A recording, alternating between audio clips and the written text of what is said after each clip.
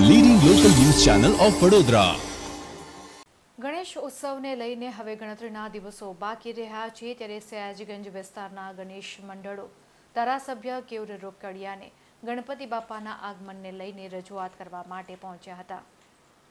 સયાજીગંજ વિધાનસભાના ગણેશ મંડળો દ્વારા ધારાસભ્ય કેવર રોકડિયાને ગણેશજીના આગમનની શોભાયાત્રાઓને લઈને તેમના નારાયણ સેવા કાર્યાલય ખાતે મળવા માટે પહોંચ્યા હતા. જ્યાં કેવર રોકડિયા સાથે ગણેશ મંડળોએ બેઠક યોજી તેમની રજૂઆત કરી હતી.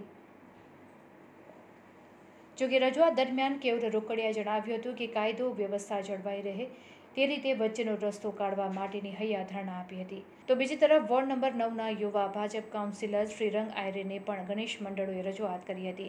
તેમણે જણાવ્યું હતું કે સાંસદ અને પોલીસ કમિશનર સાથે મિટિંગ યોજી વચ્ચેનો રસ્તો શોધવાનો પ્રયત્ન કરીશું, તેમ જણાવતા મંડળોમાં હાલના તબક્કે આનંદની લાગણી વ્યાપી હતી.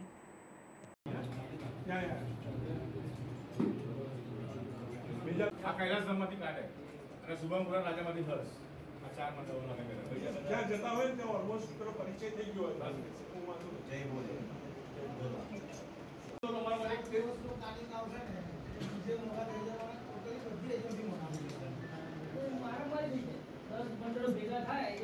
પણ, અ, દરેક ગણપતિ મંડળો સાથે અમારી ચર્ચા થઈ છે.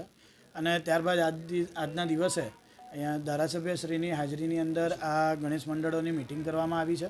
ધારાસભ્ય શ્રી જે ધારાસભ્ય શ્રી કેવુરભાઈ રોકડિયા છે, તેમને અમને કીધું છે કે જે તારીખની અંદર કમિશનર શ્રી સોળ તારીખની આજુબાજુ તેમને બોલાવશે ત્યારે માન્ય ધારાસભ્યશ્રી સાથે માન્ય સાંસદ સભ્યશ્રી તમામ લોકો જ્યારે તેમની સાથે બેઠક કરવાના છે અને બેઠકની અંદર જે નિર- નિર્ણય આવશે, ત્યારબાદ નિર્ણયને સામેથી નિર્ણયને ધ્યાનમાં રાખીને જ જે લોકોને લોકોએ કીધું છે એ પ્રમાણેના લોકોના સૂચનો અનુસાર ગણપતિનું આગમન થાય તેવી માટે માન્ય ધારાસભ્યશ્રીએ અમને તમામ લોકોને આજના દિવસે મિટિંગની અંદરથી સૂચન પૂરું પાડ્યું છે. મારા વિસ્તારના કાઉન્સિલર શ્રીરંગભાઈ આયરે દ્વારા અમને બે દિવસ પહેલાં રજૂઆત કરવામાં આવી મને પણ રજૂઆત કરવામાં આવી અને સાંસદ હેમાંગભાઈને પણ રજૂઆત કરવામાં આવી કે ભાઈ, કેટલાક ગણપતિ મંડળોના રિશિડ્યુલ થઈ રહ્યા છે, કેટલીક વસ્તુઓની એમની રિક્વાયરમેન્ટ છે. તો એમની જે રજૂઆત હોય એ તમારે સાંભળવી જોઈએ. એટલે અમે મારા વોર્ડ, અમારી આજુબાજુનો વિસ્તાર સયાજીગંજનો, એના તમામ ગણપતિ મંડળના પ્રતિનિધિઓને આજે અહીંયા બોલાવ્યા હતા કે ભાઈ, આપ આવો. તમારી જે કોઈ રજૂઆત હોય, કોઈ ટેકનિકલ કારણ પણ હોય, અને તંત્ર એનું કામ કરતું જ હોય છે અમુક ગાઈડલાઇન જે સાઉન્ડ સિસ્ટમ પર હોય છે, મૂર્તિની હાઇટ પર હોય છે, તે સુપ્રીમ કોર્ટ અને કોર્ટની ગાઈડલાઇન હોય છે. તો આ બધામાંથી વચલો રસ્તો કાઢીને કઈ સારી રીતે ગણપતિ ભગવાન બિરાજે અને એમની યાત્રાઓ, પછી એ આગમન યાત્રા હોય કે વિસર્જનની યાત્રાઓ હોય, એ સારામાં સારી નીકળી શકે. તો એના સજેશન્સ પણ આવ્યા હોય.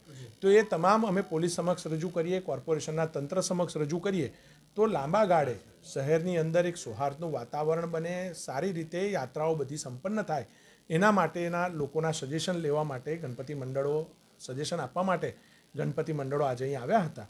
એમની જોડે મિટિંગ કરી છે અને યથા યોગ્ય અમે કમિશનરશ્રીનું પણ વિષયવાર ધ્યાન દોરીશું. કયા પ્રકારના સૂચનો આપવામાં આવે છે તમારા જે સૂચનો એમના તરફથી અલગ અલગ સાઉન્ડ સિસ્ટમને લઈને ક્યાંક યાત્રા આગમનના ટાઈમિંગને લઈને ક્યાંક ફટાકડા ફોડવાની સ્થિતિને લઈને આવા બધા સૂચનો એમને અમને કર્યા છે. તો એ સૂચનો અમે એમના જે સૂચનો છે એ કમિશનર શ્રી ટેકનિકલ કારણો સહિત એ સૂચનો અમે એમની પાસે મૂકવાના છે. યોગ્ય નિર્ણય ક્યારે આવે તેવી આશા? અમે સોળમીએ કમિશનરશ્રી જોડે સમય મળ્યો માગ્યો છે એટલે અમે સાંસદ ધારાસભ્ય બધા સંયુક્ત જઈશું અને સોળમી તારીખે જઈશું કમિશનરશ્રીને મળીશું અને ત્યારબાદ યોગ્ય નિર્ણય કરવા માટે કહીશું. નિકાલ આવે એવી રીતે કોઈ નિર્ણય લેવામાં આવશે ખરો કારણ કે દર વર્ષની જેમ આ વર્ષે પણ કંઈ ને કંઈ અમારા હિસાબથી તંત્ર તંત્રનું કામ હંમેશા સ્વાભાવિક રીતે કરવું જ જોઈએ. તંત્ર પાસે સરકારની ગાઈડલાઈન હોય છે કોર્ટની ગાઈડલાઈન હોય છે અને એના આધાર પર એક સ્મૂધ તંત્ર ચાલવું જોઈએ.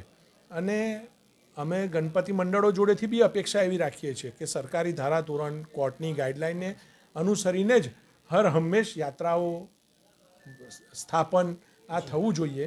અને અમારા મનમાં પણ એ છે કે કોઈ વ્યક્તિની જરૂરિયાત કરતાં પણ તંત્ર એક સ્મૂથલી ગોઠવાઈ જાય, તો પછી ભવિષ્યમાં પણ સારી રીતે આવતા વર્ષે એના પછીના વર્ષોમાં પણ ગણપતિ સારી રીતે બિરાજી શકે.